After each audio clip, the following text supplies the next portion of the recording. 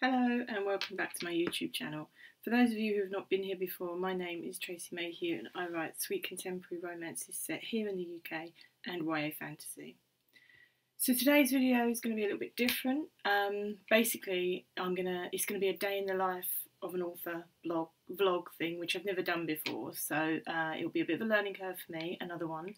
Um, but that's what I'm doing with this YouTube channel. I am trying new things learning new skills. Um, and so, yeah, I thought I would take you along because I've got a busy day ahead.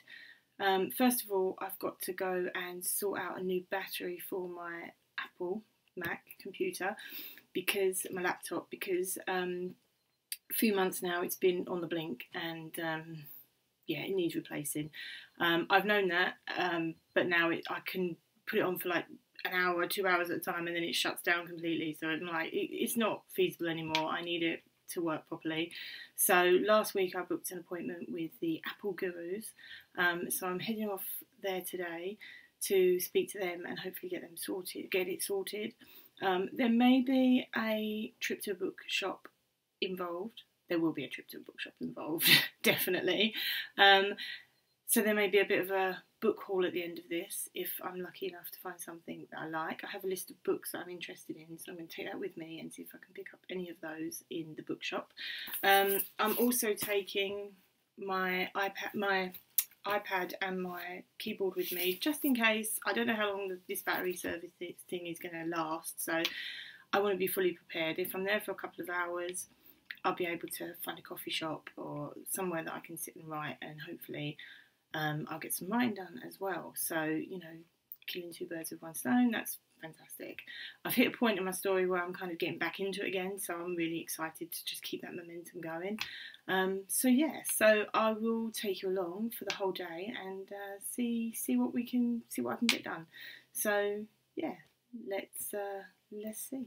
I'll see you on the other side. As you can see, I'm starting to pack my bag right now. So I'm making sure that my laptop goes in there, obviously. I need that for my change of battery. In goes my iPad for any writing that I'm going to get done and my portable keyboard. Um, and then I've also got my charger because I'm not sure if the Apple shop's going to need my charger. So that's going to go in there as well. bags are packed and off I go.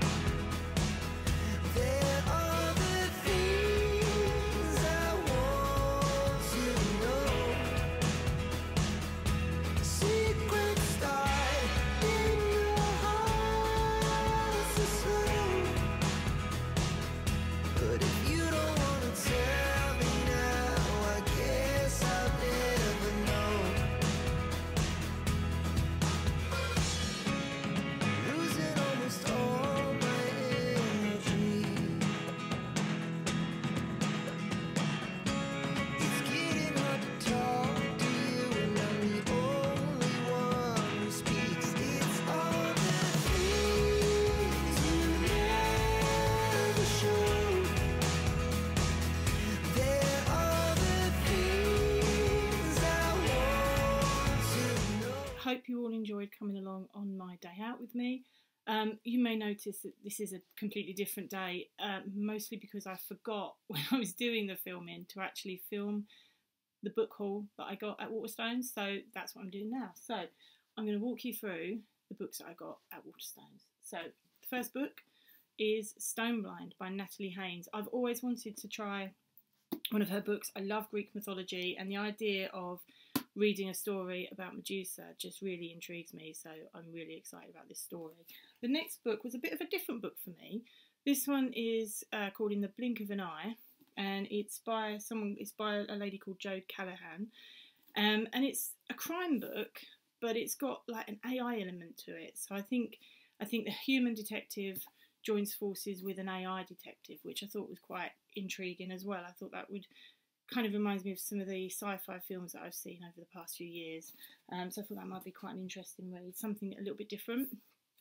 Um, the next book I got, I think this was YA, A Cruel Twist of Fate by H.F. Asquith, and it seems like it's a bit more of a mystery than fantasy or anything like that. So I thought that would be quite interesting. Again, not something that I would generally go for, but I read the first couple of pages while I was in Waterstones, and I was really intrigued by the whole idea of it and the way that she writes really well. So I thought this might be a good book to try. Um, this was one of the books that I actually went to Waterstones for. So Peter V. Brett, The Painted Man. Um, I love these covers. I've quite I've liked them for so long, and it's been on my TBR list for absolutely forever. And I thought before I left, I kind of wrote out a list of some of the books I wanted, and this one was one of my main ones. And when I saw that, I just I was just like, yep, gotta get gotta get that one. Um, so yeah, that would be quite an interesting one to read. I'm really looking forward to starting that series. This is the first uh, the first book in the series. Um, it's got demons and things like that, and so it's very fantasy. Um, and this is again, this is another one that's intrigued me over the year, over the most recent years. God Killer by Hannah Kaner. Um, I love the the cover. Sorry, that light is really really playing on that gold foiling, isn't it? Um, I really like the cover, and I was told when I bought it that this was first in I think a trilogy.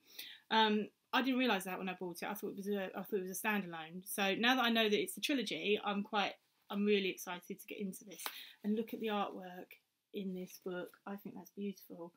Um, I would love to do something like that in my own books one day, but again, another learning curve. I'll figure it out in, you know, when, as and when the time comes. Um, so yeah, they were my books. They're the books that I'm really looking forward to putting on my bookshelf and getting started with this year.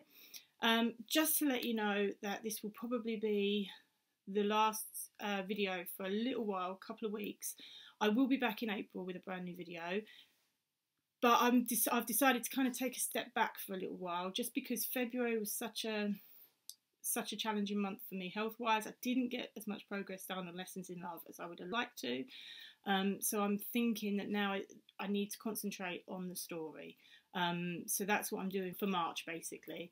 Um, I'm pre recording this, I'm pre uploading it and scheduling it so that I don't have to worry about it um, after the first weekend in March. So I'm just taking March off and I will be back in April, first week of April, which in the UK is Easter Monday. Um, so yeah, I will be back then with a brand new video. Um, but until then, you can catch playlists for the book nooks. If you want to check out any of the books I've been reading since I've started this channel, you can check that out over here, I think. Forgot where I was there for a minute. Um, uh, but until then, I will see you in April with a brand new video. Bye.